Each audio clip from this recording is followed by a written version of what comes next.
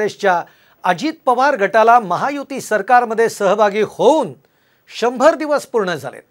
आणि त्याबद्दल त्यांनी जनतेशी संवाद साधलेला आहे पण तो पत्रामधून साधला आहे या पत्रामध्ये त्यांनी स्वतःचा उल्लेख राष्ट्रवादीचा राष्ट्रीय अध्यक्ष असा केला आहे पाहूयात आपण एक रिपोर्ट. अजितदादांचा जनतेशी पत्रसंवाद.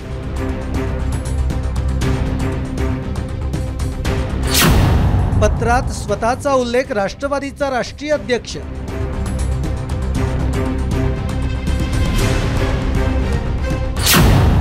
सकारात्मक विकासात्मक राजकारणाची ग्वाही.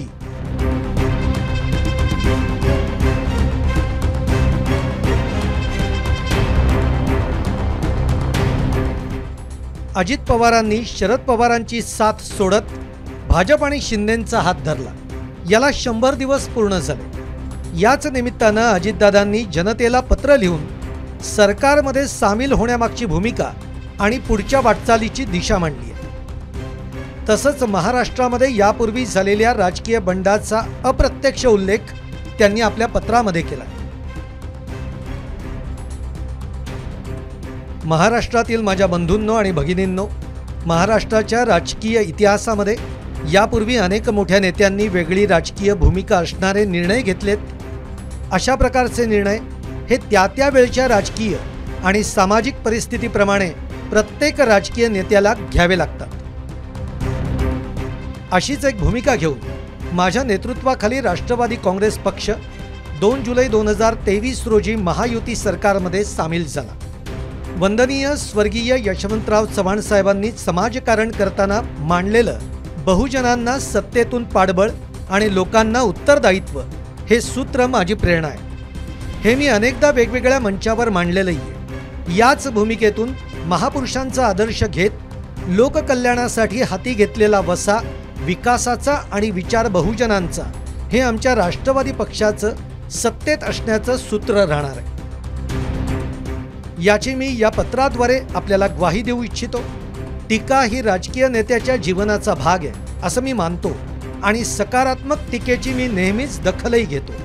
मात्र केवळ राजकारणासाठी राजकीय टीका हा माझा प्रांत नाही.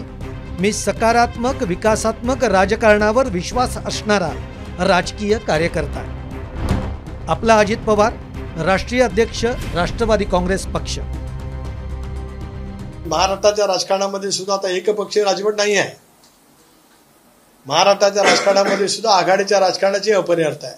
मग तसं असेल तर मग आम्ही दोन हजार एकोणीस सालामध्ये कुठल्या विचाराने शिवसेनेबरोबर युती केली त्याचं उत्तर काय? दोन हजार एकोणीस सालामध्ये शिवसेनेशी युती करत असताना कुठला विचार आम्ही सर्वांनी म्हणून त्या कालावधीमध्ये स्वीकारला होता त्याचं सुद्धा उत्तर जर काय कोणी दिलं तर मी त्या बाबतीमध्ये समाधान करण्याचा प्रयत्न करेन.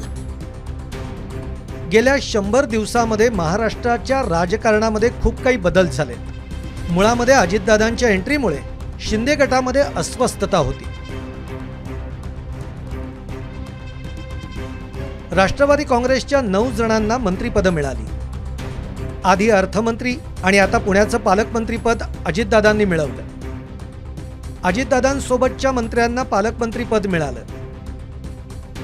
अजितदादांच्या मुख्यमंत्रीपदाच्या चर्चेवर फडणवीसांनी पडदा टाकला. महायुतीतही अजितदादांचं नाराजी नाट्य अनेकदा उफाळून आलं.